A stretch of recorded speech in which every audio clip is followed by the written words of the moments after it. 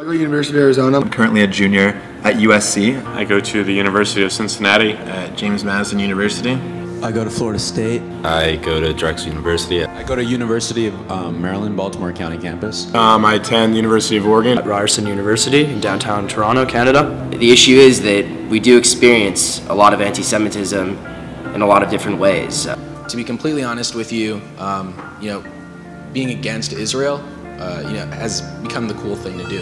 I go to Kent State University. Um, there's a professor there that calls his students his little jihadists. Um, he's on a terrorist watch list, actually. Here, I'll just read the article. A Kent State University Associate Professor of History is standing by his call for jihad and statement that Israel is a regime that is the spiritual heir to Nazism. And he's teaching um, kids. Yeah. They were screaming Intifada, Intifada, and by the end of it, there were three Israeli flags that were just stomped on, covered with mud. It was raining. It was like gruesome, like torn. Still scary. We had a birthright table that was protested, and people. I mean, there was you know tears afterwards. There was a lot of people crying. It was it was it was brutal. Anti-Semitism has definitely affected my college career, whether it be the the swastikas that were drawn on our mailbox or our anti-Semitic president of the student body. There are people running for political office that are delivering letters to students around the university, and some of these uh, people running for office are running on campaigns of "With Jews you lose."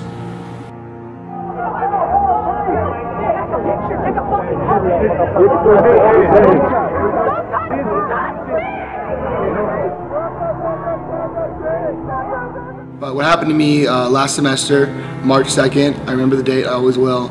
This guy came up to our house and he uh, tried to come in with uh, alcohol. I don't know who he is, I'm not going to let someone in, it's a risk. I tell him to politely to leave. At that point, he starts uh, backing off with uh, his hand raised, uh, saluting Hitler. He runs into a house right next to our house and comes out with 20 guys. At that point, um, I see that a fight is about to start. I, as president, run over to stop them, their progress from going to our house with a couple other guys, and I start talking. I, I like, we don't want to fight, we don't want anything like that, nothing like that at all. And at that point, I am struck from behind and knocked unconscious. Um, I don't really remember much after that. I know I was hospitalized. I was in the hospital for three weeks, ICU for 10 days. Um, I had a skull fracture, lower back fracture, bleeding in the brain, and a concussion. It's just, it's just sad to see, honestly. There was about 800 of them on one side, and there was about six of us on the other side.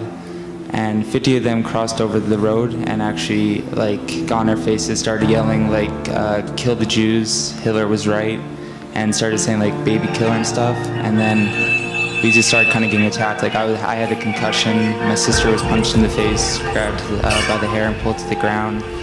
Um, my mom was punched in the stomach and pushed to the ground the group that actually hosted that rally is actually a group on our campus. So are you now, nervous on campus now? Yeah, walking around campus, I actually, I'm not gonna lie, I do fear for my life. Like, I'm constantly in, like, paranoid, like, watching behind me and stuff. Like, I'm actually afraid to walk by myself sometimes. But this year I've come back, um, some of my Orthodox friends, he won't wear a kippah anymore. Like, he always wore a kippah. And the first thing he said is, like, why do you not have your kippah on?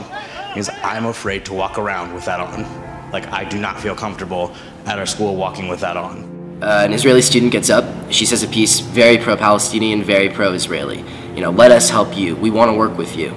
She tries to walk into her Arabic class the next day and gets booed out of class. At UMBC, it's a lot of hate rhetoric going on about free, free Palestine. Go back to Israel, you effing Jews, and um, it's been a lot of graffiti even on the bathroom walls. You can see it everywhere. We're threatened as Jews on campus. We are, first of all, not even recognized on campus because we're a Jewish fraternity.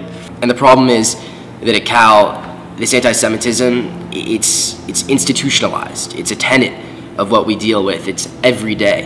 It's not a big deal. It doesn't show up in the newspapers because it's to be expected. I felt like our campus was poisoned by, by both anti-Semitism, but also just a, a sort of dark level of, of hatred. Uh, and it's something that makes Jewish students feel very uncomfortable on campus, whether they're willing to say it or not. And thank goodness that there are willing, uh, there are people who are willing to speak out about it. Uh, one of my best friends, when divestment was on campus and going through the Senate, uh, was walking to class and she was spit on by another another student simply because he saw that she was wearing a Jewish star around her neck. Anti-Semitism, you know, uh, hatred of of the Jewish people of Israel is real. And I can only hope that in the future we're able to get through it together.